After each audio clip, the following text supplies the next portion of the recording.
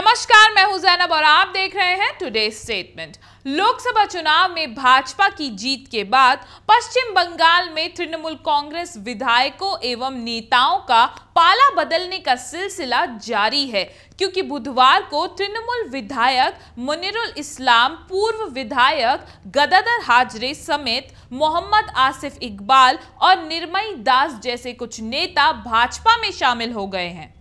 मंगलवार को भी तृणमूल के दो विधायक, माकपा के एक विधायक एवं तृणमूल के 50 से अधिक पार्षद भाजपा में शामिल हो गए थे।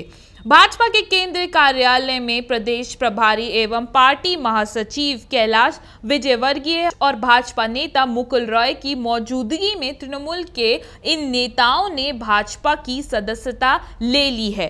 इस पर कैलाश विजयवर्गीय एवं मुकुल रॉय ने संवाददाताओं से कहा कि सभी को मालूम है कि बंगाल में जो हिंसा हुई है, वह तृणमूल कांग्रेस के लोगों द्वारा राज्य सरकार के समर्थन से की जा रही है।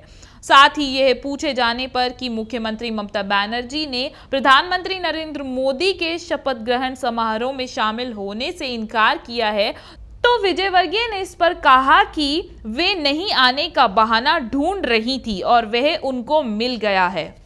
पार्टी बदलने पर तृणमूल कांग्रेस नेतृत्व ने पार्टी के कुछ विधायकों के भाजपा में शामिल होने को तवज्जो नहीं देते हुए बुधवार को कहा है कि यदि कुछ अवसरवादी विधायक अपनी निष्ठा छोड़ते हैं तो इससे कोई फ़र्क नहीं पड़ता।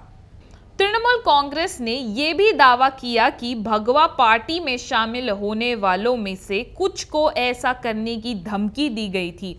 ऐसा ही कुछ तृणमूल कांग्रेस के वरिष्ठ नेता तपस राय ने कहा, यदि एक या दो अवसरवादी विधायक भाजपा में शामिल हो जाते हैं तो इस बात से कोई फ़र्क नहीं पड़ता। कुछ अवसरवादी हैं और इनमें से कुछ को ऐसा करने के लिए धमकाया गया था। अब किसने भाजपा अपनी मर्ज़ी से ज्वाइन करी है और किसने ज़बरदस्ती? ये तो पार्टी बदलने वाले नेताओं को ही पता होगा।